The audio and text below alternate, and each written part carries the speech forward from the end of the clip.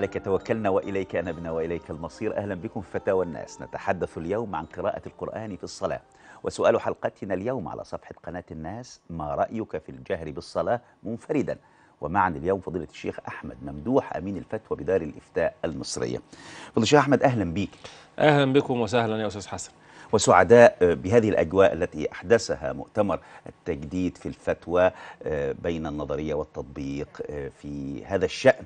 ودائما نحن ننتظر من دار الإفتاء الكثير والكثير والوقوف على المستجدات العصرية لوضع ما يناسب هذا الإنسان في هذا الوقت. نعم يعني أنا أحيي حضرتك على هذه اللفتة اللطيفة. نحن هذه الأيام في فعاليات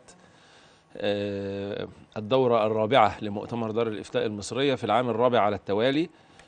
نختار كل عام موضوع أو قضية حساسة يشارك فيها بالنظر وبالمشاركة أكابر العلماء من أقطار الأرض يأتون من ثقافات مختلفة من بيئات مختلفة يشغلهم هم واحد وهو وضع النقاط على الحروف والخروج بتوصيات يتم تفعيلها على أرض الواقع والحمد لله قد أحرزنا يعني نتيجة طيبة بصدد تنفيذ التوصيات الخاصة بالمؤتمرات السابقة وإن شاء الله هذا المؤتمر أيضا يكتب الله سبحانه وتعالى له النجاح والتوفيق بإذن الله. إن شاء الله.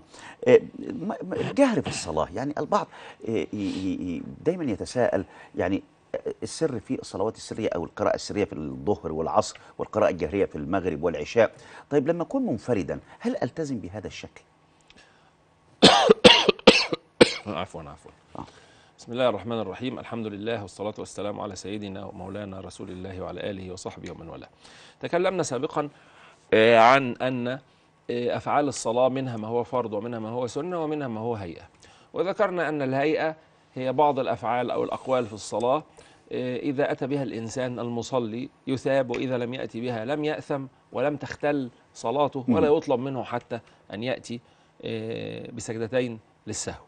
إنما غاية الأمر أنه يكون قد أخل بالثواب الكامل وبالهيئة التامة لصلاته وأن من جملة الهيئات التسبيحات والسورة بعد الفاتحة وتكبيرات الانتقال والتأمين خلف الإمام والتسليمة الثانية وحركة الرأس يمينا وشمالا في التسليم والجهر في مواضعه هذا أيضا من هيئات الصلاة ما هي مواضع الجهر بشكل عام؟ مواضع الجهر بشكل عام تختلف إذا كنا بنتكلم عن خصوص القراءة خصوص القراءة يعني قراءة القرآن الكريم في الصلاة. شرع الله تعالى الجهر في الصلاة في مواطن وشرع الإسرار في مواطن أخرى. ففي في في الأوليين من الصبح ما هي الصبح ما فيهاش إلا أوليين أيوة. في ركعتي الصبح يشرع الجهر.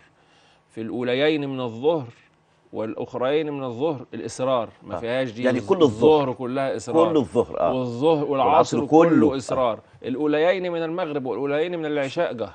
جهر. كويس كده؟ طيب. دي مواضع الجهر بالقران في الصلاة. هل يختلف في ذلك المأموم عن الإمام عن المنفرد؟ آه. نعم قد يختلف. إزاي؟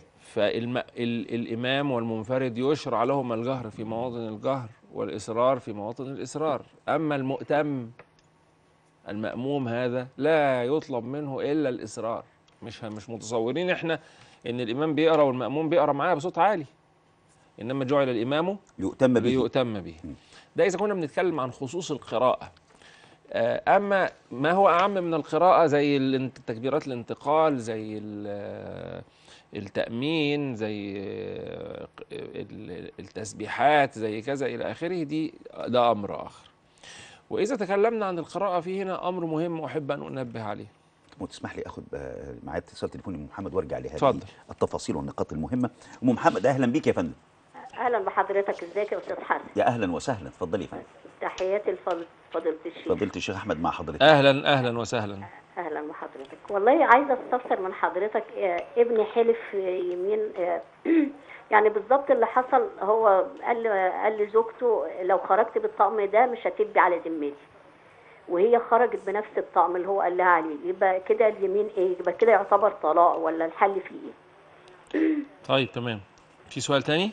لا شكرا. شكرا. نرجع بقى للتفاصيل بخصوص الجهر بالقرآن. جيد. حضرتك سألتني إيه حكم الجهر؟ مم. أنا عايز أعرف الأول ما هو الجهر؟ ما هو الحد الذي يسمى جهرا, جهراً، آه. وما هو الحد الذي إذا لم يحصل؟ يبقى سر. يبقى سر. مم. القراءة الحد الأدنى فيها حتى يسمى الإنسان قارئا أن إما أن يحرك شفتيه وإما أن يحرك شفتيه مع إسماع نفسه. إسماع نفسه يعني اللي جنبه ما يسمعوش. هو بس اللي يسمع نفسه إذا كان خاليا إذا فرضناه خاليا يعني لوحده. ده الحد الأدنى من القراءة. قيل تحريك الشفتين مع إسماع النفس ده رأي الشافعية وقيل تحريك الشفتين فقط ولو بلا صوت ده رأي المالكية هنا في حتة مهمة جدا. إيه هي؟ إن بعض الناس يا سيدي الفاضل يأتي ويقول لك إيه بص الله أكبر. الله أكبر وينزل. وتحس إن هو بقه متخيط. فين يا مولانا القراية؟ يقول لك ما أنا قريت. لا دي ما اسمهاش قراية شرعا. تخيل إن أنت بتعرض صلاتك للبطلان بذلك لأنك لا تقرأ. يقول لك أنا بقرأ في سري. بتقرا في سرك ما ينفعش. ده ما اسموش قراءة شرعا ولا لغة كمان بالمناسبة. فالحد الأدنى من القراءة حتى يعني نقول إن دي قراءة إنك تحرك شفتيك. يبقى حتى صحيح على رأي الملكية. واخد بالك؟ آه إذا أسمعت الغير يبقى دي بداية الجهر بقى. آه. فالجهر أدناه إسماع الغير وأعلاه لا حد له. ممكن أزعق لغاية أما يسمعني الشارع اللي بعد اللي بعديه ده اسمه جهر برضه لكن أدناه إحنا إيه؟ بنقول مستويات الجهر. إن إيه؟ أنا بقرأ آه. فأنت بتسمع وأنت جنبي. تمام. ده ده أول الجهر. أدنى الإصرار أن تسمع نفسك. واخد بالك؟ إذا مشينا على الرأي اللي بيقول القراءة مع تحريك الشفتين وإلا فإن هناك رأي آخر أخف يقول لك تحريك الشفتين فقط لكن ما في حد قال إن القراءة النفسية دي تجزئ. أنت واحد ماسك ماسك المصحف وبيقرأ بعينيه كده أنت جاي بتاخد ثواب النظر مش ثواب القراءة لأنك هكذا لم ت- لا, لا تسمى قارئا. واحد بيصلي ويقوم الليل وكذا إلى آخره وما بيحركش شفايفه. لقلة العلم المسكين عرض عبادته للبطلان لأنه بهذا لا يسمى قارئا. وأنا شفت ناس أحيانا من ال- ال- أهالينا البسطاء يفعلون هذا في المساجد وكذا إلى آخره ولا يدرون أن هذا آه، يعرض عبادتهم للإبطال. آه، الأستاذ عبد الله آه، وبعد الاستاذ عبد الله هرجع لنقطة مهمة جدا في يمكن ربما تكون أدعى للخشوع مع فضيلة الشيخ أحمد. أستاذ عبد الله أهلا بيك. السلام عليكم. وعليكم السلام ورحمة الله وبركاته. آه لو سمحت أنا عندي استفسار بخصوص وزن أو سن الأضحية. وزن؟ السن الشرعي للأضحية إيه؟ والوزن بتاعها أو ما يعادل من السن. يعني أنا والوزن. سمعت من كذا شيخ أو من كذا آه، آه، آه، حد افتاني في الموضوع قال لي إن الوزن ممكن يكون 350 كيلو فاكثر أو سنتين اللي هو ال- الأصل يعني سنتين أو ما كانش يبقى 350 كيلو أو فاكثر أو فاكثر آه. آه، الحاجة التانية أنا دلوقتي صاحب مزرعة. ولو السن مثلا أقل من سنتين آه، بس الوزن أكتر من 350 كيلو. في ناس قالت لي إنه ما ينفعش هو لازم سنتين. طب أنا دلوقتي لو طلعت هيبقى حرام عليا أو عليا وزر وهل سؤال آخر برضه معلش قول لي كده بتاعت المزرعة دي تاني. تقول إيه؟ يعني عنده حاجة في سنة أنا إيه؟ عندي أنا سنة- عندي دلوقتي مزرعة. أيوه. تمام؟ وعندي حاجات أوزانها أقل من ال من ال 350 كيلو آه آه تمام تمام. فحد مثلا اشترى بس أنا عارف إن هو 350 كيلو فأكثر فلو هو اشترى أنا عليا وزر ولا لأ؟ مم. طيب حاجة حاضر تانية. دلوقتي في حد سألني بيقول لي دلوقتي أنا ينفع آخد عجلة أقل من 350 كيلو لوحدي؟ أيوه بس حاضر. لأن برضو الموضوع فيه نقاش وأنا سمعت من دار الإفتاء إن موضوع إن إيه إيه إيه إنه يبقى فيه آه، أقل من من سنة من 350 كيلو ده على رأيين من دار الإفتاء. فأنا الصراحة في حيرة مش عارف. بقى إن أنا عليا وزر ولا لأ. حاضر شكرا. حضرتك اللي بتبيع يعني آه، البائع آه، أرجع ليه أليس انشغال المصلي بالقراءة همسا أو جهرا أي أي في مواضعهم الصحيحة؟ أدعى للخشوع لأني أحيانا البعض يقول لك ما, بح ما بعرفش أخشع إلا لما أسمع صوتي فأخش ف- فأفكر وأتأمل فيما أقرأ.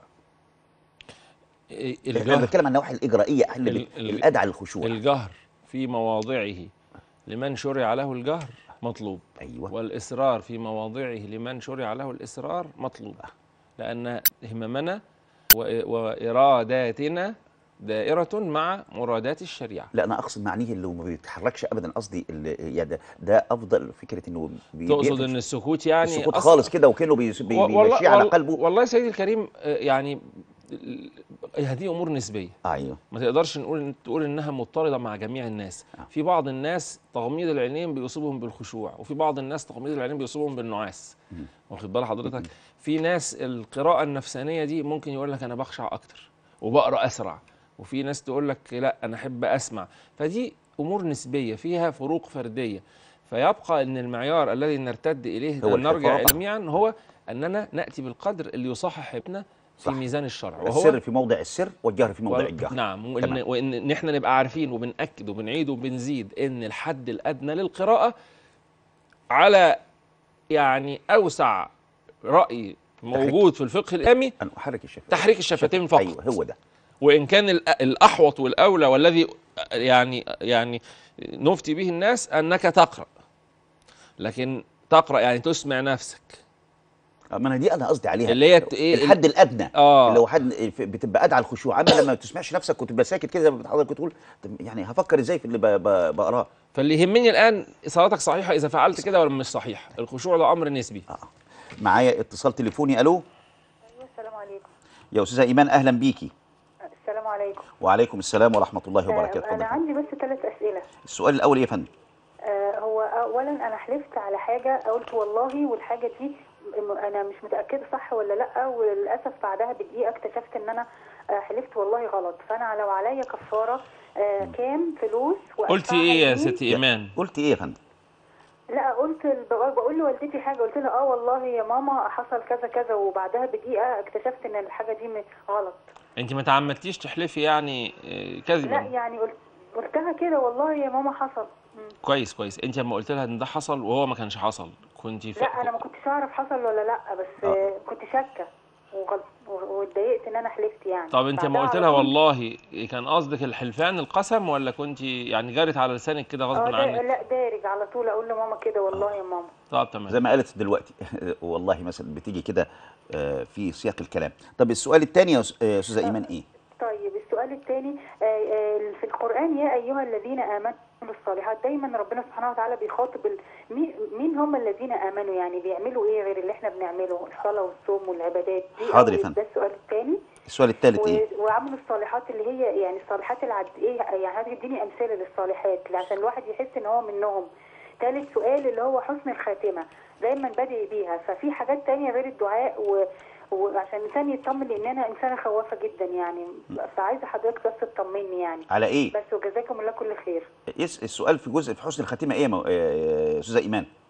آه، هو إيه الإنسان يعمله عشان حسن الخاتمة أيوة. يعني غير الدعاء؟ كيف تكون؟ أو يعمل إيه بالظبط؟ في حاجات معينة ربنا أمرنا بيها عشان. إن شاء الله تبقى في حسن خاتمه حاضر يا فندم. بس أشكركم وجزاكم الله كل خير. الأستاذ زكريا أهلا بيك. يا أستاذ زكريا. أستاذ حسن السلام عليكم. وعليكم السلام ورحمة الله وبركاته. واهلا بضيفنا الكريم.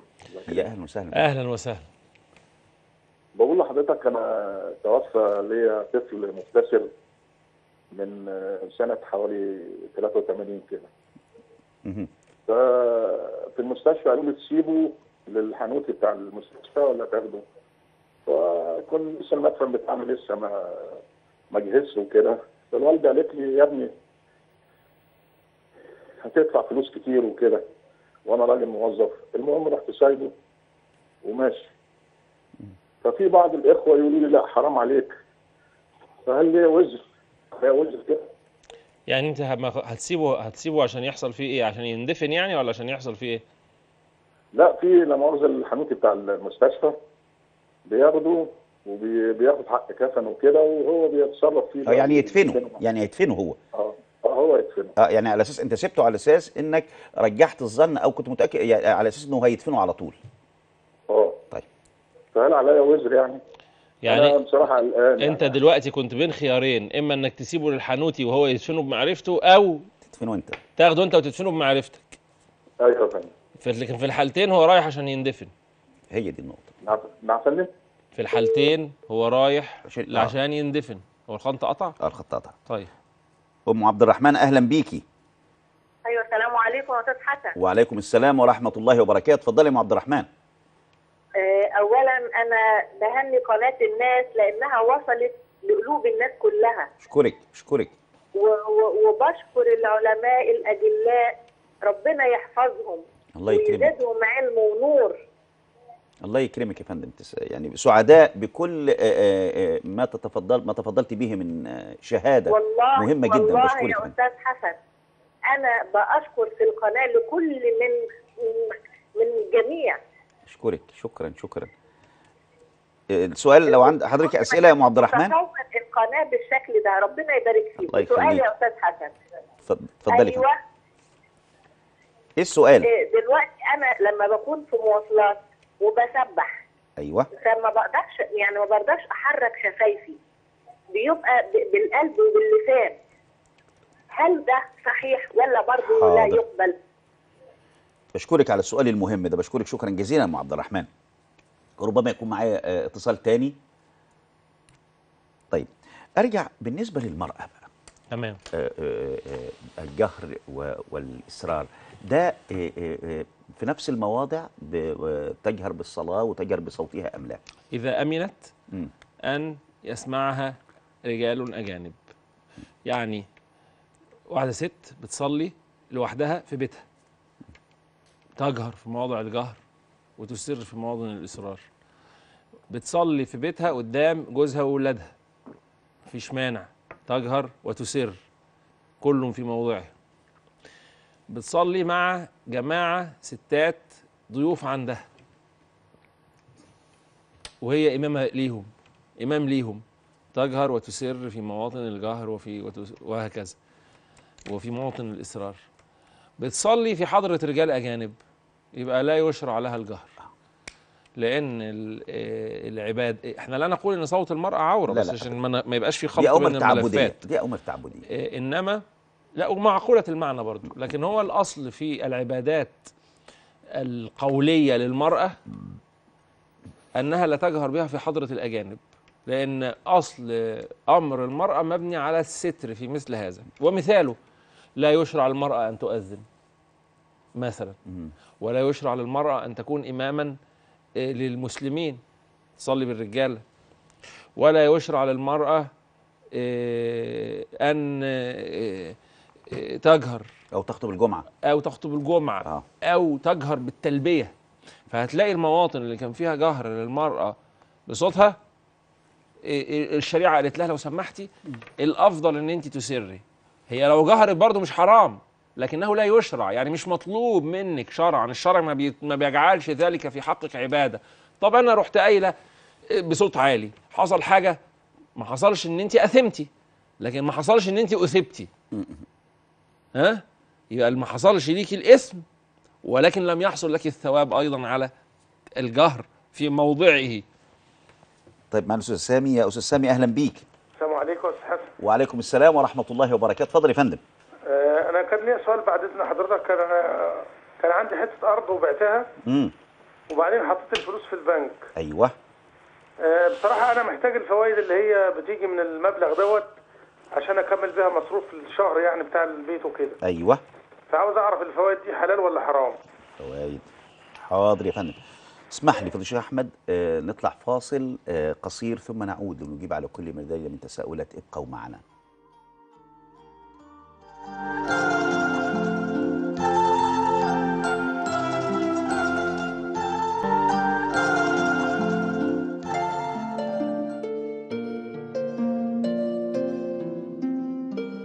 حكم الدين في تبرج النساء والملابس الشبابية الجديدة أمثال البناطيل الممزقة وما إلى ذلك.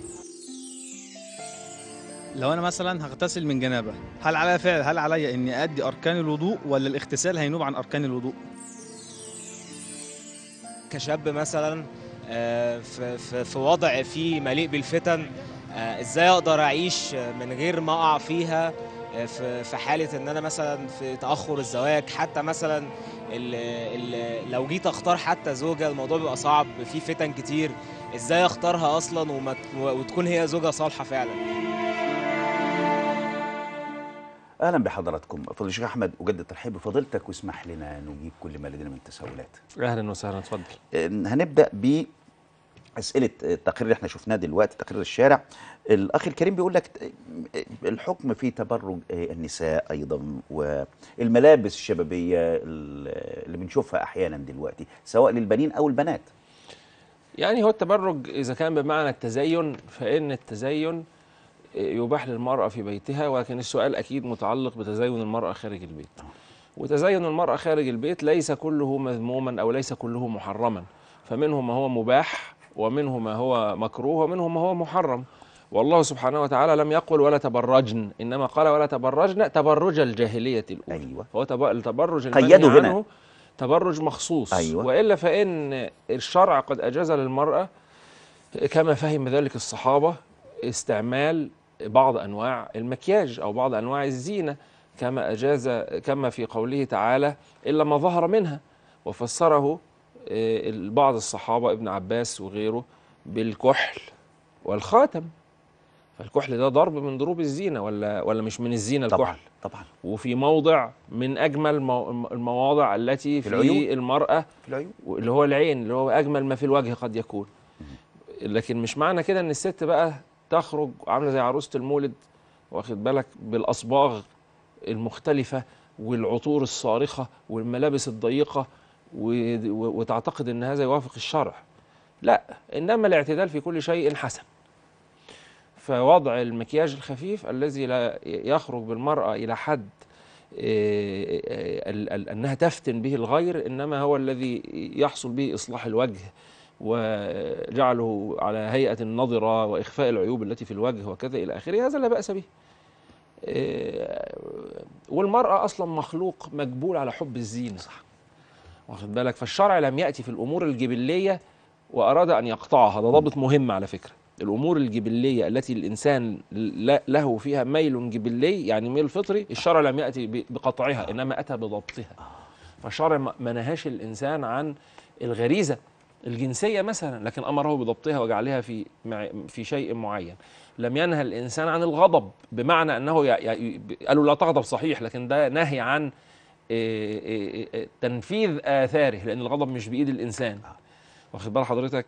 كذلك في الحب كذلك في كل شيء انفعالي أو لا لا يمكن للإنسان فيه أن يعني يكون عنده مكتسبا إنما هو أمر جبلي أما بالنسبة للملابس الشبابية ففيها وفيها يعني هي مش مجرد وصفها بشبابية يقتضي إنها محرمة أو يقتضي إنها جيدة. الجيد منها جيد وال- وال- والمخالف منها مخالف. يمكن حتى الشيخ محمد الغزالي كان ليه جملة كده يقول لك الإسلام لم يج... لم يأتي ليقف ضد الطبيعة الإنسانية اول ولكن جاء ليهذب هذه الطبيعة. نعم ده في بعض الأحكام يا سيدي الكريم الفقهاء شوف يعللوها بإيه؟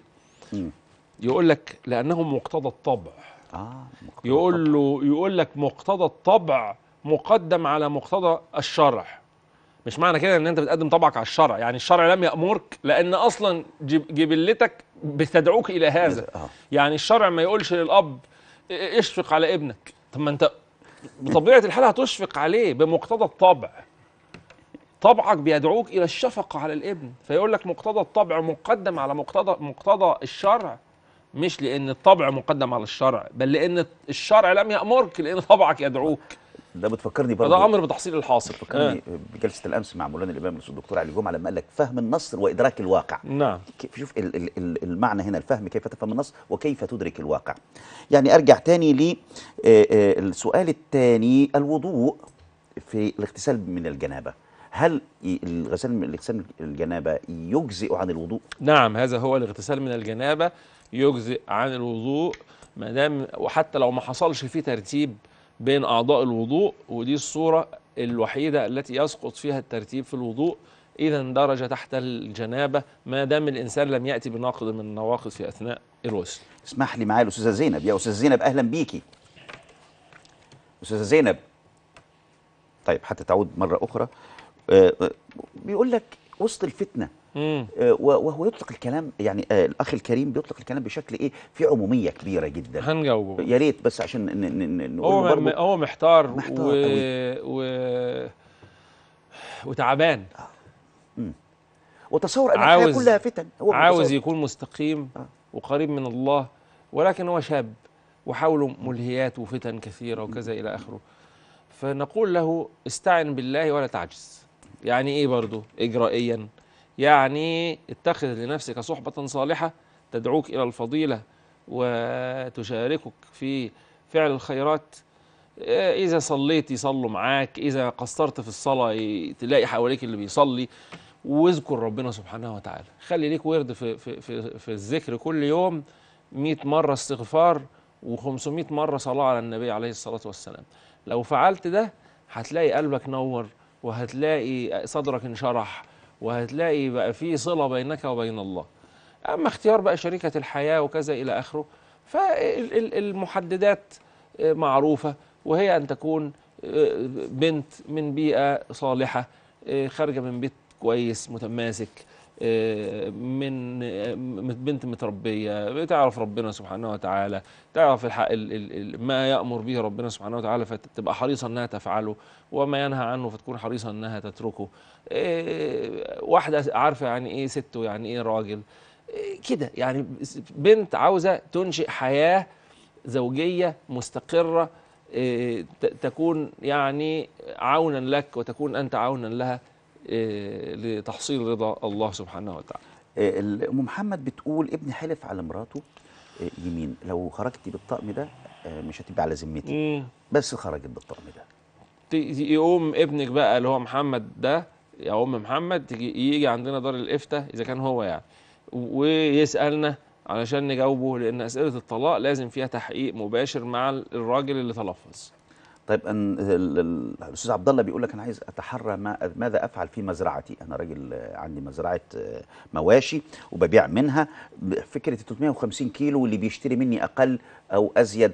أنا موقفي إيه في كل الأمور دي؟ شوف يا سيدي رقم واحد. أيوه. أنت راجل تاجر مواشي أو عندك مزرعة مواشي وبتبيع مالكش دعوة. واحد عايز يشتري عشان الأضحية واحد عاوز يشتري عشان النذر واحد عاوز عايز يشتري عشان يوزع على الفقراء واحد عاوز يشتري عشان يدخل يوسع على أهل بيته. لا شأن لك ما أنت مش مطلوب. رقم واحد. م. رقم اتنين لأن بيقول لك هو أنا عليا اسم. ما عليكش اسم على جميع الأحوال. إلا إذا غشيت حد بقى لا سمح الله وطلب منك حاجة وأنت أخبرته بخلاف الحقيقة. رقم اتنين الأضحية. هل يشترط لها سن معين؟ عند جماهير العلماء يشترط لها سن معين واختلفوا في تحديد هذا السن.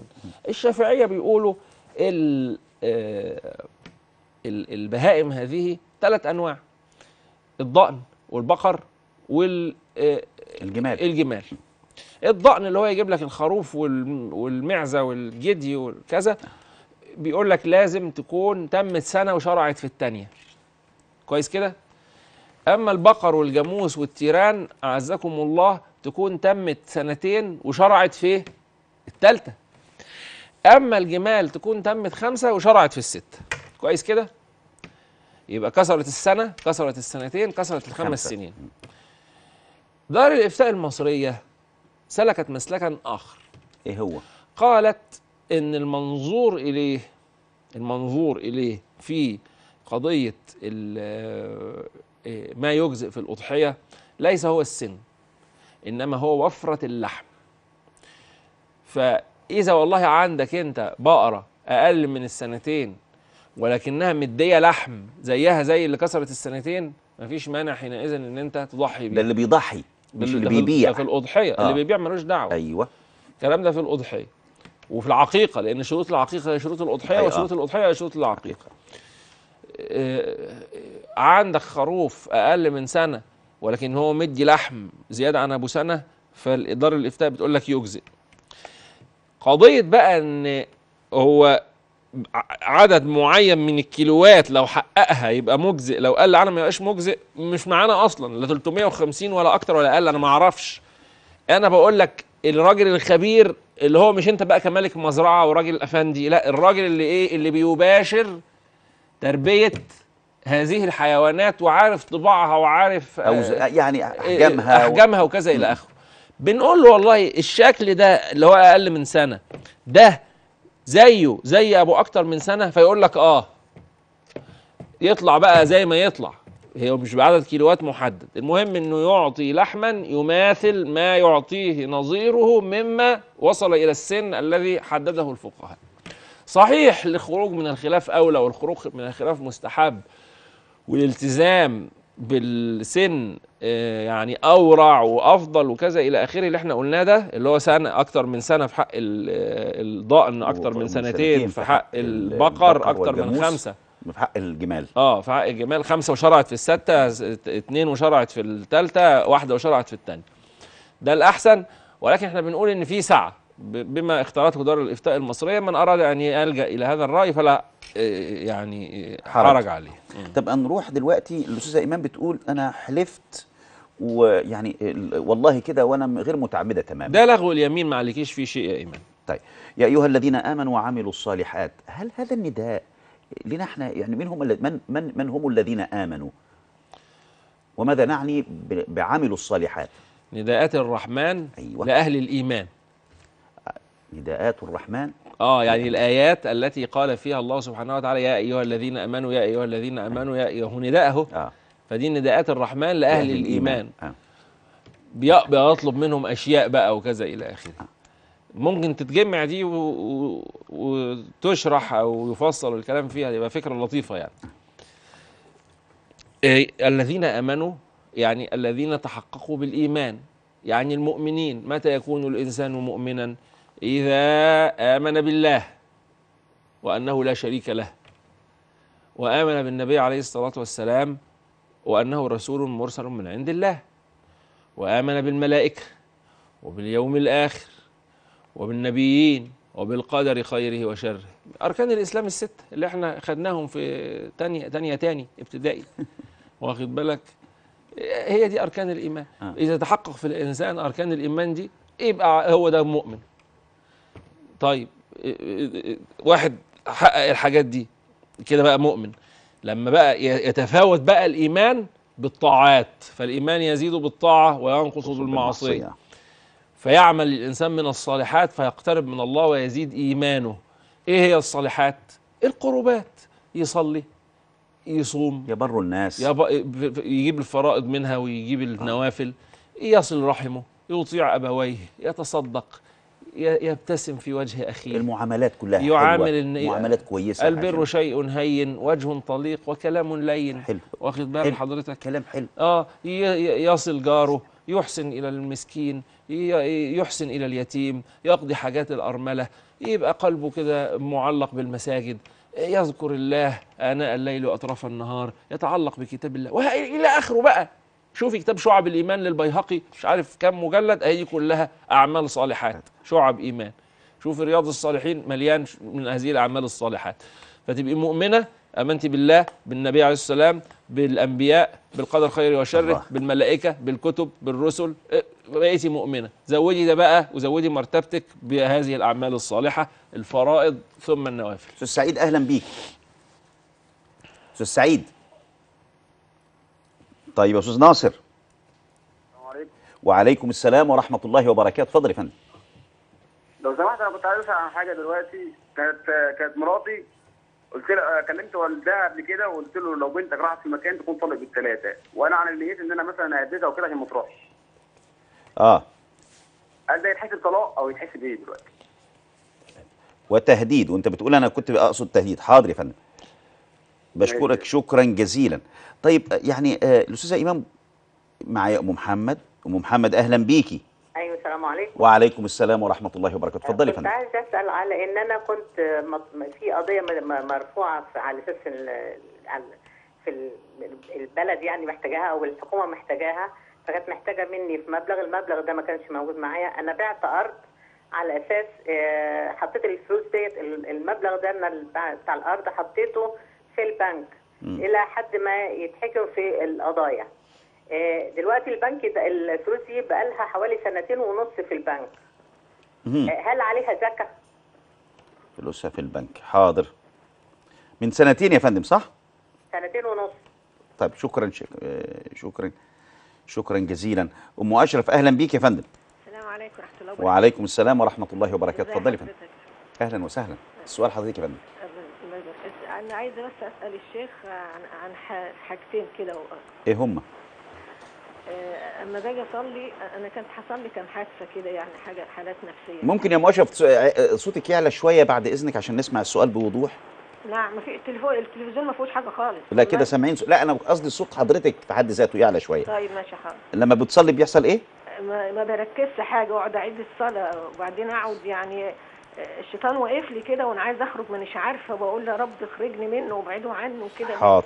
اعيد الصلاة اعيد الصلاة يعني أنا بعمل يعني الحمد لله بصلي وبصوم وعارفة كل حاجة وعلى طول بتعيدي الصلاة بالشكل ده يا أبو- آه، الصلاة حاجة؟ فظيعة والله كل ما اصلي وكل ما أروح اتوضى لازم ارجع اتوضى تاني لا دي وسوسة دي وسوسة يا, يا الإجابة سريعا لحضرتك اجابه؟ مباشرة ودي وسوسة علاجك في إن انت تتجنبيها تماما وخلفي نفسك وما تعيديش الصلاة واذكري الله صبحا ومساء وصلي وأكثري من الصلاة على النبي عليه الصلاة والسلام وأكثري من ذكر الله تعالى باسمه المقسط بياء النداء. يعني قولي يا مقسط كتير كده على السبحه وتخالف النداءات الشيطانية. تخالف النداءات الشيطانية. آه، طب أرجع ل أم عبد الله أهلا بيكي. أنا جاي كان أنا ليا شقة يعني شارية شقة. عندي شقة. شاريها بالقسط بت- فطبعا ما قالوا لي إيه كان القسط أنا مش قادرة أدفع يعني مم. فرحت قالوا لي وضبيها وأجريها. فرحت جبت قرض عشان كان ناقص على البلاط وال يعني حاجات تشطيبات فيها كده أيوه فقالوا لي القرض ده حرام لأن القرض ده للشغل بس فأنا جبت عملت مثلا البلاط ده فقالوا لي كده حرام فأنا عاوزة أعرف.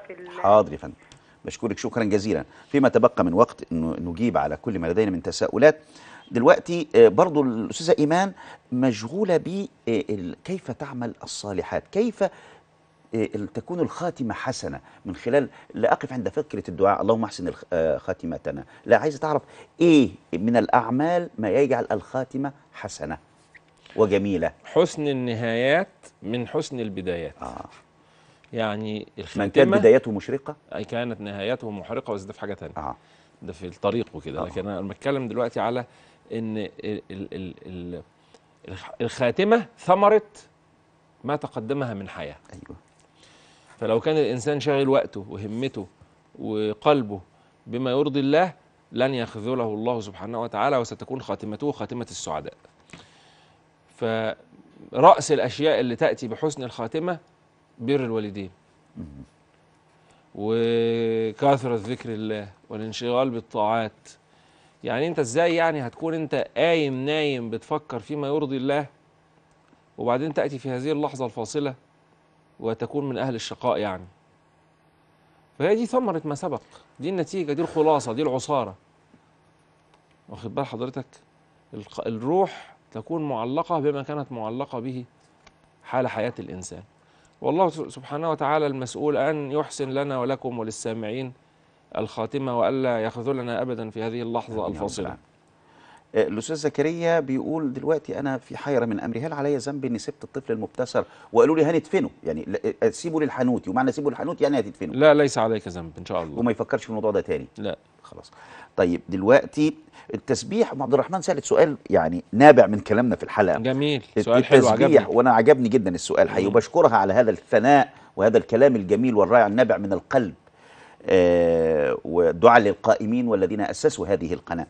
دلوقتي آه أسبح ب- وأنا ساكتة ولا لازم أحرك الشفايف؟ شوف يا سيدي الكريم القلب له ذكر. واللسان له ذكر. ف وأفضلهما ما اجتمع فيه الذكر القلبي مع الذكر اللساني. لكن إحنا لما قلنا إن عدم تحريك الشفاه بالقراءة لا يجزئ ده حيث اشترط الشرع القراءة. يعني الشرع قال لك لما تيجي تصلي اقري الفاتحة. اقري الفاتحة دي معناها ان انت تحركي شفايفك على الأقل. مش تسكتي وتمرري الفاتحة وألفاظها على قلبك. دي ما اسمهاش قرايه انت كده ما سمعتيش كلام الشرع. لكن الذكر القلبي دي حاجة تانية. الذكر أصلا مستحب. فأنا قاعد ساكت كده في المواصلات وعمال أذكر بقلبي. الله الله الله. ما فيش مشكلة. وده يعتبر ذكر فاضل وذكر عظيم. وفي بعض أهل الله الطريق بتاعهم مبني على الذكر القلبي السادة النقشبندية الذكر الأصل فيه عندهم الذكر القلبي مش معنى كده إنه الذكر اللساني مش مطلوب عندهم لكن ده يقول لك ده أجمع ده أبعد عن الرياء ده كذا إيه، وبيذكروا مرتبة في المراتب مرت- عندهم. مرتبة أيوة، طريقة مرتبة، آه. طريقة مش مش قضيتنا لكن قضيتنا دلوقتي إن الذكر القلبي مطلوب والذكر القلبي ما ما يعني يثاب الإنسان عليه وأفضل الذكر كما قال الإمام النووي رحمه الله تعالى ما اجتمع فيه القلب واللسان. يعني آه، خلينا نروح ل آه، دلوقتي الأستاذ سام بيقول آه، عندي حتة أرض بعتها وحطيت فلوسها في البنك عشان باخد الفوائد بتاعتها بتعينني تعينني على المعايش يعني. حلال. الفوائد إيه؟ فوائد البنوك حلال. تمام. طيب آه، مراتي لو قلت لوالدها قلت لوالد مراتي لو بنتك راحت لك تبقى طالق بالثلاثه ما بنجاوبش أسئلة طلاق على الهوا. تعالى عندي في دار الإفتاء واتصل بالتليفون على الخط المباشر علشان عايز أسألك أسئلة مش طبيعة البرنامج لا تتناسب معها. طيب دلوقتي في آه، الفلوس قد في قضية مرفوعة آه، بشأن ما وبعت الأرض وحطيت الأرض فلوس الأرض في البنك دي لسنتين ونص دي عليها زكاة ولا لأ؟ بلغت النصاب هيبقى عليها زكاة. لو بلغت النصاب وحال عليها الحول دون أن تقل عن حد الحول في أثناء ال- ال- الحول دون أن تقل عن حد النصاب في أثناء الحول يبقى عليها زكاة كل سنة بسنتها. انت آه، فضيلتك يعني آه، آه، أجبت أم أشرف في موضوع الوسوسة عشان نؤكد على موضوع الوسوسة لأن الوسواس متمكن منها بشكل كبير جداً. الوسواس للسيدة الفاضلة الكريمة يا ريت. السائلة آه. ولغيرها ولنفسي ولك وللسامعين الوسواس من الشيطان وسواس شيطاني وما دام من الشيطان فإذا الشيطان لا يأمرك بخير ماذا أفعل إذا أصبت بالوسوسة الوسوسة دي تبص تلاقي الإنسان متردد في عبادته يجي يتوضى يقول لك أنا مش حاسس إن أنا اتوضيت ويقعد نص ساعة يتوضى ساعتين عشان يغتسل إيه، مش عارف يجمع النية مش عارف يكبر ويقف على طراطيف صوابعه. ده مبتلى يا عيني إحنا ما بنعايرش حد ولا حاجة ونسأل الله له الشفاء. بس ده حال شيطاني والشريعة لم تأمر بتلك المظاهر العجيبة الغريبة. الشريعة شريعة سهلة سمحة بسيطة. فالإنسان لو ابتلي بذلك الوسواس يبقى عنده مشكلة نفسية. المشكلة النفسية تتعالج. نعالجها إزاي؟ في شقين في شق روحاني هو ده بتاعنا وفي شق آه، عند الدكتور. في ناس بيبقى لابد ان يروحوا للدكتور يعالجوا من الوسواس القهري. آه آه ده موضوع تاني ده. دي قصة تانية. قصة تانية. الجزء الخاص بينا أنا بقول لك رقم واحد ورقم اثنين ورقم ثلاثة ورقم أربعة ورقم خمسة خالف نفسك. وخالف النفس والشيطان واعصهما نعم. يقول لك يمين قول له شمال. يقول. لك شمال قول له يقول يمين. لك الصلاه باطله تقول له إيه؟ طلع له لسانك مش هتقول له حاجة. يعني صلي، يعني خساره في حتى إنك تقول. لا صلاتك بالك؟ صحيحة. إيه إيه أسبوع واحد وهيروح الكلام ده. وإما ينزغنك من الشيطان نزغ فاستعذ بالله. بالله. يبقى ما يجي لك الحال ده أعوذ بالله من الشيطان الرجيم. معايا الاستاذه شيماء. معلش ثانية واحدة. آه. وادعوا الله سبحانه وتعالى أن يرفع عنك هذا أكثر من الذكر ومن الصلاة على النبي خصوصا اذكر الله باسمه اللطيف بياء النداء وربنا يرفع عن كل مبتلى ما ابتلاه به. أستاذة شيماء أهلا بيك. اتفضلي يا فندم. ألو السلام عليكم. وعليكم السلام ورحمة الله وبركاته. أستاذة شيماء ممكن توطي التلفزيون من قبل ما تقولي سؤالك بقى؟ أنا قفلته خالص. لا مش عايزينك تقفليه. اتفضلي. ماشي. اتفضلي. آه، بص حضرتك أنا عملت حادثة بالعربية. سلمك الله. مم. الله يخليك يا رب. آه بس العربية اتبهدلت. فحد نصحني إن أنا أصلحها؟ ولما أجي ابيعها بعد التصليح ما اقولش ان هي كانت عامله حادثه. بس أنا يعني مش عارفه حاسه ان ما ينفعش. اعمل كده فحبيت اعرف يعني. عندك اي اسئله تانية يا استاذه شيماء؟ آه هو بس كمان سؤال تاني هو أنا اللي خبطني وبهدلني كده يعني سابني ومشي فعايزه اعرف ده يعني إيه ظروفه يعني. عقابه إيه ده؟ آه السبب في الحادثه اللي عمل كده يعني. آه هو حد خبطني خبط العربية واتقلبت بيا كذا مرة. طب فهو سابني ومشي فأنا مش عارفة أقول له إيه ده حاضر يا ست بشكرك شكرا جزيلا. كان عندي سؤال من أم عبد الله بتقول كان عندي شقة بالتقسيط وجبت قرض أشطبها عشان مش قادرة أسدد. آه قالوا لي القرض ده حرام. مش عارف. ما أعرفش مش مش مش ما أعرفش القرض حلال ولا آه، حرام. مش- ما أعرفش ملابسات ظروفك أنت كنت وصلتي لحالة من حالات الاضطرار ولا لأ؟ علشان أقول لك إن يجوز لك أخذ القرض لأن الأصل في القرض الحرمة الأصل في القرض الشخصي الحرمة. ولا يجوز اللجوء إليه إلا في أحوال الضرورة أو إذا كان قرض تمويلي. فحالتك مبهمة عليا في الحقيقة فلذلك مش مش عارف الجواب. طيب آه، سؤالنا الأخير ما الأستاذة شيماء كانت بتقول يعني ربنا نجاها الحمد لله رب العالمين. دلوقتي لما أصلح العربية قالوا لي صلح العربية وبيعيها ولا تذكري ماذا حدث لهذه السيارة. هو اللي حاصل دلوقتي إن أنا باجي أبيع عربية. فهو المشتري ما بيستناش إن أنا أقول له فإذا قلت له والله هيقول لي جزاك الله خيرا وإذا ما قلتلوش أنا هغشه. اللي بيجي يشتري عربية في العادة بيجيب معاه ميكانيكي يبص على العربية وبعدين ياخدها يقول لك يرفع العربية ويكشف عليها ويقلبها يمين ويقلبها شمال. ويقول لك والله دي رشة برة ودي مش رشة ورشة جوه. يبقى أنت دي عملت فابريكا دي مش فابريكا. آه فابريكا يعني ما آه، رشتش آه. واخد بالك؟ فابريكا برة وجوه يعني ما رشتش خالص. واخد بالك؟ طب ناخد الأستاذة نجوى بس نجاوب طب آه. الست ما إحنا ما جاوبناش الأول أنا. كده بستعرض معلوماتي بس اتفضل